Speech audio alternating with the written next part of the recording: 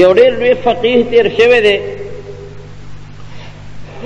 عطا ابن ابي رباح رضی الله عنه تابعی او ډیر زبردست عالم جید یو ډیر لوی محدث او د شکل نه ډیر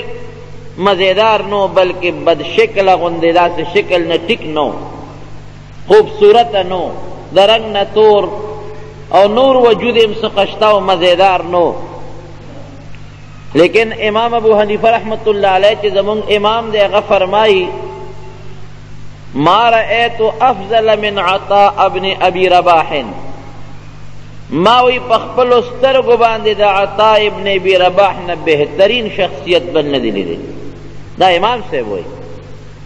د هغه نه بهترین شخصیت ما په دې خپلو سترګو نه دی لیدی، حالانکه شکل نه تور و بد رنګ و. نو شکل څه څیز نه دی، اصل څیز د انسان سیرت دی، خوی دی، اخلاق دی، باطن دی او زړه دی. حضرت بلال رضی الله عنه اندازه ولګوئ د شکل نه تور دی پردی وطن مسافر دی او رنګ یې داسې دی چې خلکو به ورته تور بلال وی چې چا به کافر ولا आवाज ورکاو نبی کریم صلی الله علیه وسلم له یو ځل قرض راوړو د یو يهودي نه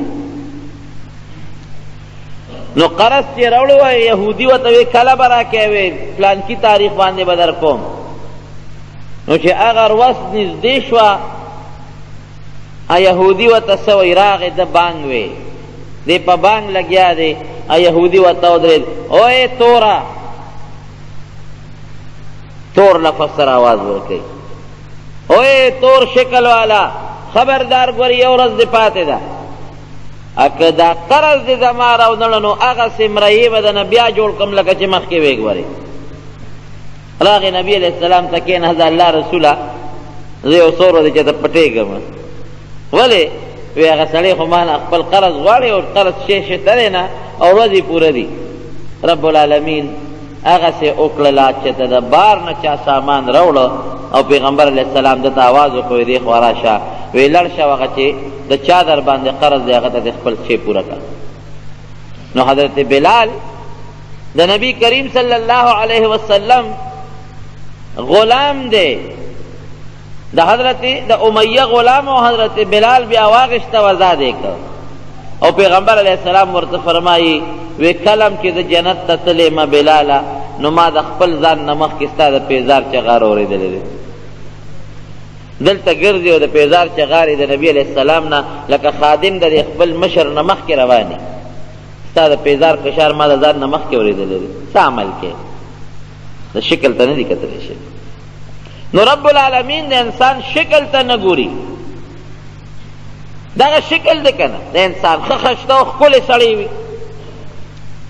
او ښه ډولي وي خلک یې د حسن صفت کوي خو چې بوډا شو نو هغه حسن یې کم طرف ته لاړ لاړ هغه خشتوالی ختم شو دا خو ظاهر وجود ته ګوره بیماری پر راشي حسن ختم شي یو بزرګ پخوا خو به دا وینځې وی او دا غلامان به یو وینځه به د بزرګ او هغې به خدمت کو او د بزرګ سره چې یو مرید هم دا مریدان هم ساتل وی دا مریدان د بزرګانو له راځي نو دا بزرګ پوه انسان و خیار و چته یو ورځ دی مرید چه تا هغه وینځې ته له غوندې په غور نظر وکتل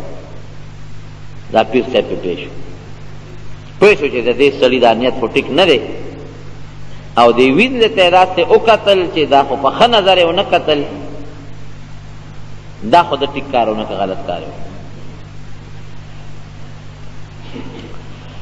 دی لاړو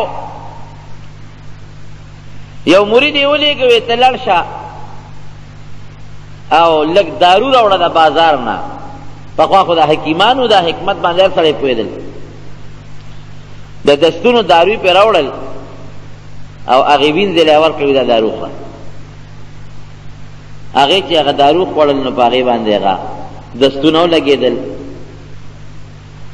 نو عموما چې سړی باندې دستونه ولګیږي نو دا وجود یې لغون دی چې زیات شي نو وجود یې ټپم شي خرابم شي ظاهر کې شکل هم بدرنګ شي نو دا وینځه یو ځل لا روانه وه او د پیر صاحب د مرید ته یو کار پسې ولېږه او دا وینځه لار کې را روانه ده پیر صاحب ته ګوري نو دا غریب په بد حال ده کله یو ځای ډغره خوري کله بل ځای ډغره خوري لاسونه هم خیرن خچن دي وجود هم خیرن خچن دی